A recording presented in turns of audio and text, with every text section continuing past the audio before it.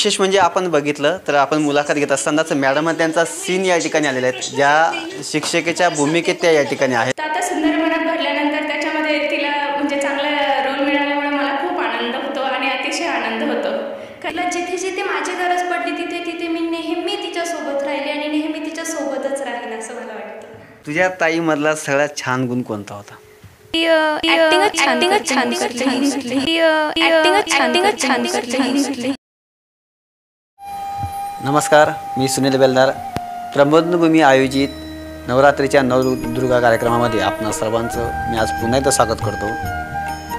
प्रभू रामचंद्राच्या पदस्पर्शाने पावलेली ही नाशिक नगरी आणि दादासाहेब फाळकेंची असलेली ही कर्मभूमी त्या कर्मभूमीतून अनेक सिने अभिनेते सिने अभिनेत्री पुढे आलेले आहेत ज्या नाशिक शहराचं नाव आज साता समुद्र पाळण्यात आहे.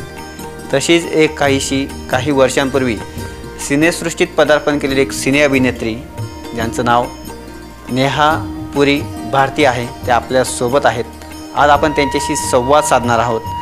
प्रबंधभूमीने गेल्या काही दिवसांपूर्वी नवरात्रीच्या अनुषंगाने नवरात्रीच्या नवदुर्गा हा कार्यक्रम आयोजित केलेला होता आणि या कार्यक्रमातल्या आज पहिल्या सेलिब्रिटी सेलिब्रिटी ज्या गेस्ट आहेत त्या आपल्यासोबत नेहा मॅडम आहेत. मॅडम नमस्कार. मॅडम त्यांनी म्हणजे नेहा मॅडम त्यांनी ह्या क्षेत्रात कसं पदार्पण केलं? त्यांचा या क्षेत्रात येण्यामागचा उद्देश काय? हे सर्व जाणून घेण्याचा आपण एक छोटासा प्रयत्न करणार आहोत. मॅडम प्रबंधभूमीमध्ये पुन्हा आपलं एकदा स्वागत आहे. मॅडम सर्वप्रथम आपलं नाव सांगा आमच्या प्रेक्षकांना आणि आपण या क्षेत्रात आलात तर या क्षेत्रात येण्यामागचा आपला उद्देश काय होता? माझं नाव नेहा भारती गिरी आणि सर्वप्रथम धन्यवाद की प्रबंधभूमी चॅनलने तुमच्याशी संवाद साधता आला मला याद्वारे. आणि ह्या मागे येण्याचा उद्देश एकच होता की एक कलाकार म्हणून आपण खूप गोष्टी शिकत असतो. भरपूर भूमिका ज्या असतात त्या आपण अनुभवत असतो.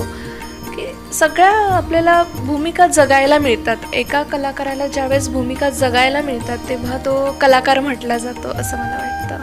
हाच उद्देश होता तसं जर बघितलं गेलं तर हे क्षेत्र खूप स्पर्धांनी भरलेले आहे. स्पर्धा परीक्षा ज्याला म्हणतो आपण त्या क्षेत्रांनी भरलेलं आहे. विशेष म्हणजे या क्षेत्रात येण्याआधी आपण काय करायचात? म्हणजे याच्या आधी आपण कुठला जॉब करायचात की डायरेक्ट आपण या क्षेत्रात पदार्पण केलं? अगदीच लहानपणापासून मला मला आठवतं की माझ्या आईने एक नाटक लिहून अगदी दोन ओळीचं एक होतं की मुलगा काय मुलगी काय मुलगी देते दोन्ही घराला प्रकाश. असं माझं पहिलं एक वाक्य होतं जे मी डॉल घेऊन बोललेली होती. ते होतं एक पाच सहा वर्षाची असताना. त्यानंतर असं काही फक्त मी डान्स वगैरे स्कूलमध्ये त्याच्यानंतर एक संस्कार केंद्रात आई घेऊन जायची उन्नती मंडळ त्यामध्ये डान्स करणं. असंच करत असताना एक सहावीत असताना रंगगंध कला सप्त न्यास हे मी जॉईन केलं जी चाळीसगावात अकॅडमी आहे. तिथून मला स्टेज शोज वगैरे त्याच्यानंतर आपले महानाट्य असं सगळं करता आलं त्याद्वारे. तिथून कुठेतरी वाटलं की नाही आपण पण हे करू शकतो. त्यावेळेस किरण लद्दे हे आम्हाला शिकवायला यायचे आणि अगदी काही कळत नव्हतं. त्या काळात आपल्याला कोणत्याच गोष्टीची आयडिया नसते की आपण काय होणार. आणि त्याच वेळेस विचारलं की अ, माऊ तुला काय व्हायचं आहे? दादा मला फक्त तुझ्यासारखं व्हायचं आहे. आणि तेव्हा तो असिस्टंट डायरेक्टर होता या घरची लेख लाडकीचा. फक्त जस्ट तुझ्यासारखं मला करायचं आहे एवढंच म्हणत होतं बाकी दुसरं काही नव्हतं. असं करत करत मी थेटर केले नंतर. आणि अ, शिवपुत्र संभाजी हे महानाट्य महेंद्र माडी लिखित सर आणि दिग्दर्शित. हे महानाट्यात मी पुतळा मातोश्रींचा रोल केला ज्यात अमोल अमोल कोल्हे सर आहेत. त्यानंतर आधारवड मूवी केला. राजकुमार हंचाटे निर्माते आणि सुरेश झाडे सर दिग्दर्शित. ह्या मूवीमुळे मला फेम तर मिळालीच पण एक अस्तित्वही मिळालं स्वतःसाठी. आणि नाही आपण यातून आपली सुरुवात करू शकतो हे माझ्या लक्षात आलं.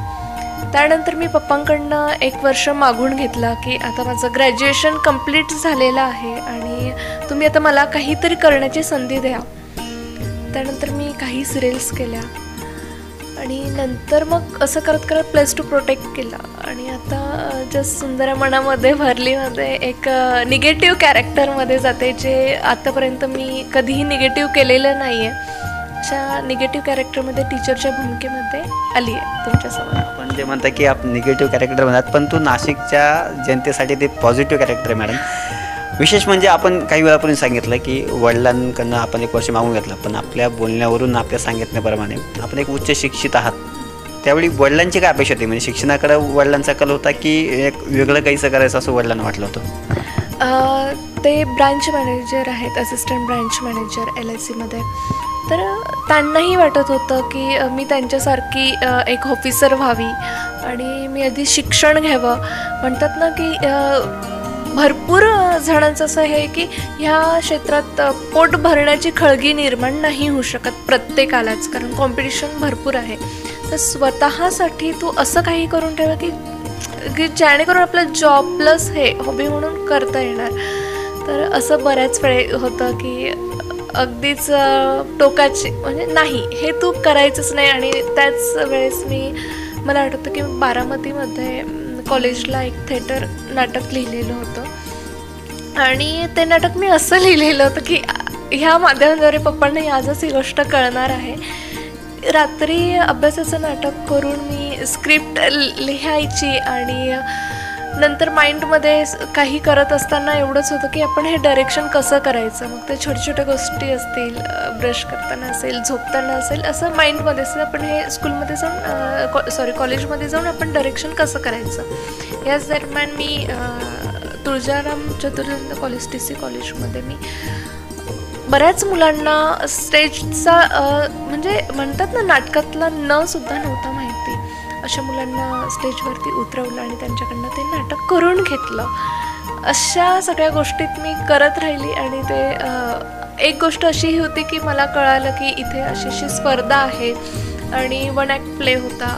त्यावेळेस मला माहिती नव्हतं. पाच मिनटात ड्रेस कोड नव्हता काही नव्हतं. आईला फक्त एक फोन केला की पप्पा आले तर पप्पांना मॅनेज कर. मला आज थोडंसं मॅडम तुम्ही तुमच्याबद्दल खूप काही सांगितलं जसं तुम्ही सिनेसृष्टीत कसं पदार्पण केलं तुमचा अनुभव सांगितला. एक जवळचा प्रश्न विचारतो. आपलं बालपण कुठे गेलं मॅडम? मी तशी मुळगाव मालेगाव दाभाडीचं माझं वडिलांचं गाव.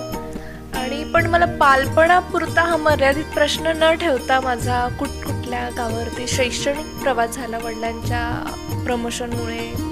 सगळ्या बदलांमुळे कारण तेही एल आय सीमध्ये असिस्टंट ब्रँच मॅनेजर आहेत आता आणि त्यामुळे आमचं स्थलांतर आणि शिक्षणही वेगवेगळ्या शहरात झालं. तर मूळ तशी मी दाभाडीमधली मालेगावमधलं आणि शहादा नंदुरबार असा प्रवास करता करता माझं बालवाडी ते दहावीपर्यंतचं शिक्षण चाळीसगाव ह्या शहरात झालं. त्यानंतर अकरावी बारावी पिंपळगाव बसवंत नंतर F Y Sangamner S Y T Y Baramati अशा सगळ्या गोष्टी माझा प्रवास झाला की शैक्षणिक प्रवास ज्याला म्हणता येईल तो इथपर्यंत झाला बारामतीपर्यंत.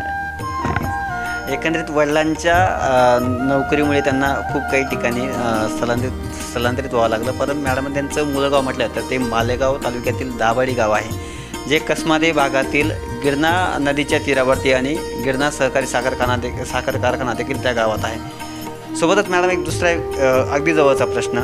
आपल्या कुटुंबाबाबत काय सांगाल? म्हणजे शेवटी प्रत्येकाला एक आपल्या कुटुंबाचा आधारवाड असतो. तर आपल्या परिवाराबद्दल काय सांगाल?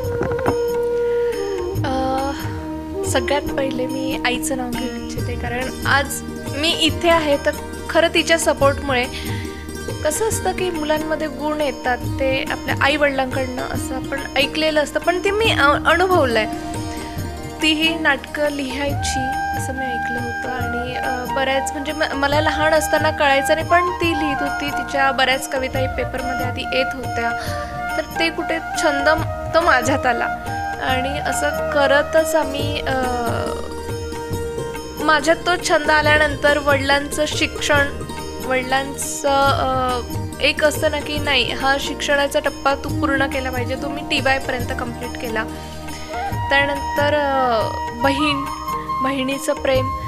भाऊ लहान आहे खूप तर त्याचं एक मस्तीखोर असं माझं इकडचं कुटुंब आणि आफ्टर मॅरेज माझ्या आयुष्यात माझे पतिदेव तर त्यांच्याबद्दल सांगायचं झालं तर ते प्रशासकीय अधिकारी आहेत. आणि यु नो ह्या क्षेत्रामध्ये येताना तुम्हाला खूप साऱ्या जबाबदाऱ्या असतात घरातल्याही सांभाळ आणि घरातल्यांचा सपोर्ट असल्याशिवाय आपण ह्या गोष्टी करू शकत नाही. मॅरिड गर्ल तरी. तर त्यांच्या सपोर्टमुळेच मी आज इथे आहे आणि आत्ता माझी सुंदरा मना भरली. तुम्ही बघू शकतात की आता नऊ वाजलेले आहे आणि माझा एक सीन होऊन गेलेला आहे आपल्या इंटरव्ह्यूच्या दरम्यान. तर मी ह्या ह्याच्यात काम करते. ते आज मी नाशिक शहरात राहून इथे काम करते आणि आणि ते मुंबईमध्ये आहेत तर एकटं सगळं करणं मॅनेज ही सोपी गोष्ट नाही आहे की कोणाचा सपोर्ट नसताना. तर मी स खूप खूप धन्यवाद म्हणते. धन्यवाद न म्हणता मी एक म्हणजे त्या गोष्टीला ह्याने स सगळ्या नवऱ्यांनी जर एका महिलेला एवढा सपोर्ट केला कोणत्याही क्षेत्रामध्ये तर मला नाही वाटत की क कोणत्या शे महिलेला आरक्षण किंवा अशा काही गोष्टी असतील तर त्या घेण्याचं हे होईल. की एक माहेर आणि सासर दोघे मिक्स होणार असं मला वाटतं. तुमच्या हसण्यावर कळत आहे की तुमच्या मिस्टरांचा सपोर्ट मला खूप छान पद्धतीचा आहे. मॅडम एक वेगळा प्रश्न असा विचारतो की सिनेसृष्टीमध्ये खूप खार साऱ्या स्पर्धा आहेत. जसं आम्ही आत्ता बघतो की काही वेळापूर्वीच आपला कलर्स मराठीवरती आपला सीनही देखील गेला. त्यानंतर लगेच दुसरा सीन आला म्हणजे दुसरे कलाकारही या सीनमध्ये दिसत आहे मग ह्या क्षेत्रात येण्यासाठी जे नवीन कलाकार उत्सुक असेल त्यासाठी त्यांच्यासाठी तुम्ही काय संदेश द्या महत्त्वाचा प्रश्न आहे हा. कारण खूप मुलं उत्सुक असतात ह्या क्षेत्रात जाण्यासाठी आणि मी असं बघितलेलं आहे आजवर की कुठेही काम करायला तयार आहेत भले मानधन नस वेगळी आता ट्रॅक चालू झालं की मानधन नसलं तरी करणार पण करणार. ह्या क्षेत्रामध्ये शंभर टक्के तुम्हाला खरेच लोक मिळणार असं नाही. स्पेशली मी मुलींसाठीच नव्हे तर मुलांसाठी हे सांगेल की हे क्षेत्र असं आहे की फसवी आणि थोडंसं म्हणतात ना की कलाटणी देणार आहे की पण आपण त्या सगळ्या गोष्टींचा जर अभ्यास केला आणि स्वतः आपण आपली पर्सनॅलिटी अशी असली की समोरचाही बोलायला आपल्याशी घाबरेल आणि रिस्पेक्टफुल बोलेल तर मला नाही वाटत की या क्षेत्रात जाण्यासाठी कोणत्या नवोदित कलाकाराला विशेष म्हणजे आपण बघितलं तर आपण मुलाखत घेत असतानाच मॅडम त्यांचा सीन या ठिकाणी आलेला आहेत ज्या शिक्षकेच्या भूमिकेत त्या या ठिकाणी आहेत. आपण ज्या कलाकाराची आज मुलाखत घेत आहोत आज सुवर्णयोग म्हणजे त्याच कलाकाराचा या ठिकाणी सीन देखील सुरू आहे. बघितलं असेल नेहा भारती मॅडम या एका शिक्षिकेच्या भूमिकेमध्ये या ठिकाणी आहेत ज्या मॅडम आपल्यासोबत आहेत. मॅडम खरंच हा सुवर्णयोग म्हणावा लागेल कारण तुमचाच तुमची मुलाखत सुरू असताना तुमचा हा सीन आम्हाला आज बघायला मिळाला. खरंच नाशिकरांच्या अ, नाशिकरांसाठी हा खूप मोठा सुवर्णयोग होता. मॅडम आपण मराठी सिनेसृष्टीमध्ये काम करताय. हिंदी सिनेसृष्टीमध्ये येण्याचा आपला विचार आहे का? मी गणेशा सिरियल पहिली हिंदी केलेली जी दोन वर्षापूर्वी कोविडच्या आधी त्यात अप्सरा कॅरेक्टर आणि प्लेस टू प्रोटेक्ट हा मूवी जो पण हिंदी आहे रेड लाइट एरियामधल्या मुलींना रेस्क्यू केलेला आहे हॅन्सन थॉमस सरांनी त्यावर हा आधारित आहे. आणि मला आवडेल हिंदीमध्येही जाण्यासाठी. त्यामध्ये मी आता कुमकुम भाग्य सिरियल आता जस्ट रिसेंट एक महिना झाला की ज्यात एन जी ओ कॅरेक्टर केलं. तर मला आवडेल हिंदीमध्येही जाण्यासाठी.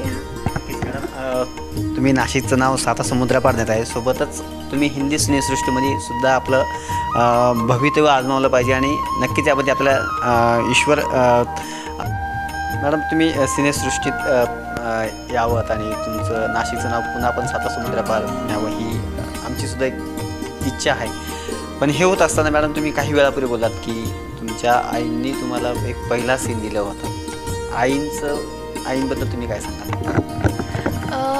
मुळात लहानपणापासून तिच्याकडे नाटकाविषयीची आवड होती आणि म्हणून ती माझ्याकडे आली. पण खूप छान आपण खूप वेळेपासून आपल्या आईंची देखील स्तुती करतात. जे गेल्या काही वेळापासून आम्ही आईंबद्दल देखील ऐकतो ऐकतोय. आपण आईंशी देखील संवाद साधणार आहोत. कारण गेल्या काही वेळापासून मॅडम त्यांनी आपल्या आईन त्यांचा उल्लेख केलेला आहे. आणि त्या या ठिकाणी आलेल्या देखील आहेत. आई साहेब आपलं देखील प्रबंधभूमीमध्ये स्वागत आहे. आई गेल्या काही वेळापासून आम्ही मॅडम त्यांच्याकडून जाणून घेतो आहे की आणि त्यांनी त्यांचा सगळा जीवन प्रवास आम्हाला सांगितलेला आहे. पण या जीवन प्रवासात त्यांनी अनेक वेळा आपला उल्लेख देखील केला आहे. आज आपली मुलगी एका सिनेसृष्टीमध्ये मराठी सिने अभि अभिनेत्री म्हणून काम करते. काय सांगा काय वाटतं आपल्याला याबद्दल? मला ते खूपच आनंद वाटतो. की ती आता सगळ्यांना दिसते मला म्हणजे लोकांचं येतं की तुमची मुलगी किती छान काम करते आणि असे येतं की तुम्ही मुलीला खूप सपोर्ट केला. म्हणून आज तुमची मुलगी म्हणजे सुंदर मनात भरली याच्यात आ दिसते असं.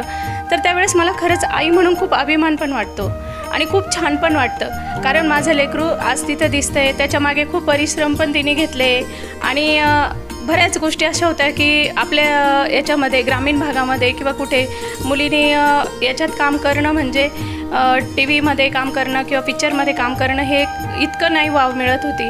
की पण मग मला वाटायचं की माझी मुलगी एकदा तरी टी व्हीवर दिसावी हे एक माझी मनापासूनच इच्छा होती.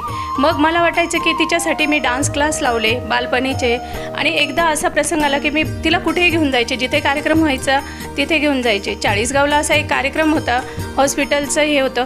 मी प्रतीक्षा लोणकर आल्या होत्या तिथे. मग तिला मी तिथे घेऊन गेली. तर तिथे तिला माहीत नाही की हा प्रतीक्षा लोणकर आहे की हा कोण आहे. परंतु त्यांना बघितल्या बघितल्याच वसुधा आंटी वसुधा आंटी अशी ओरडली ती. तेव्हा त्यांची सिरियल चालू होती वसुधा म्हणून.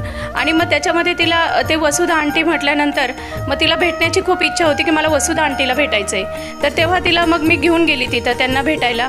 फक्त तिलाच येऊ दिलं मला येऊ दिलं नाही. नंतर मग भेटण्यासाठी गेल्यानंतर ती अगदी त्यांच्याशी इतके मनमोकळे गप्पा मारल्या. आणि त्यांनी न तिला हात एक शाबासकी आणि डोक्यावरून हात ठेवला. एक तिला फूल देताना फोटो काढला तिच्याबरोबर आणि त्या बोलल्या की तू ग- कलाकार होशील असं. आणि एकदाच असंच नाटकाला एका गेली होती तर अनंत आबाईकर होते.